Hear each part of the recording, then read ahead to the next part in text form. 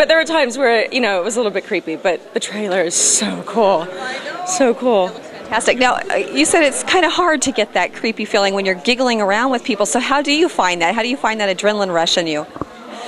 You know, it's weird. It's kind of like as soon as you just kind of like take a breath, and as soon as you know the cameras start to roll, it kind of you just find your space and you get into it. And um, Derek was really great that way. I mean, you know, we worked really well together, and he's such a sweet guy. It was it was sometimes very strange because he's he's such a big guy, and it's so you know he's got this mask on, and it's so creepy, but he's so sweet, and he's like, "Are you okay?" You know, and you're like, "You're not supposed to be nice to me."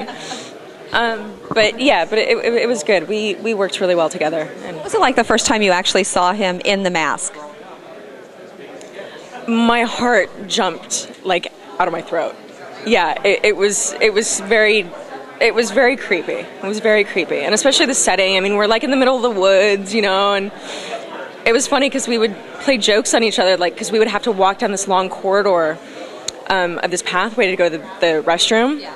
So we'd be like, Derek, Derek, go hide in the bushes. Sadowski's going down to like go in the bathroom. So we would, it was it was funny. We would play jokes like that all the time. Did any of that get captured on film? We're going to see any of that on the DVD. You know, I hope so. I don't know. I honestly I don't know if EPK um, caught any of it, but but hopefully they did. Now, what's the appeal of actually joining the Friday the Thirteenth franchise?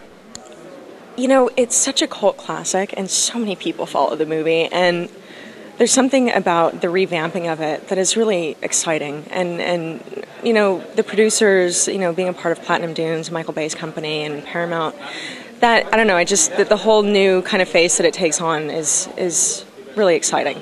Now the first film when you look back on it now it kind of plays out campy to put it nicely. This one doesn't right? The tone's totally different? It's so it's night and day. It really is. Um, you know and i think for the time that the original came out, it was very creepy. But it, you know, I think that as society evolves and movies get more, you know, gory and more slasher, and there, there's a certain demand upon the audience that they want that kind of slasher movie to, to be something that they're entertained by. So I think that, you know, as the times have changed, movies have changed too. And so we're, you know, the producers and the writers really, I think, did a great job of adapting it to evolve into what, you know, moviegoers will like now. I mean, hopefully they do. That makes sense. Now, you said the producers is one of the main reasons that you were attracted to it, but it is a remake, and remakes are always tricky. So, were you leery at all?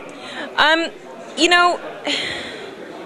Of course, you're. I mean, you, you, you never know. It's always a crapshoot. So there's there's always that small doubt in your mind of, of what it's going to be. But you know, Marcus Nispel, who did the remake of Texas Chainsaw, it was a creepy movie, uh, such a creepy movie, and and meeting with with Brad and Andrew about it and and talking to them about it i just you know it was kind of like this passion project so my fears and doubts about it kind of went away and of course when we're shooting there were days where it was like oh this is going to be great and days where you're like oh no i hope you know yeah it's so it was there was a little bit of that but you know I guess we don't really know until the movie comes out whether whether people are really going to respond to it or not. But makes sense. Now, who do you actually play? My character is her name is Whitney, and I play Jared Padalecki's sister.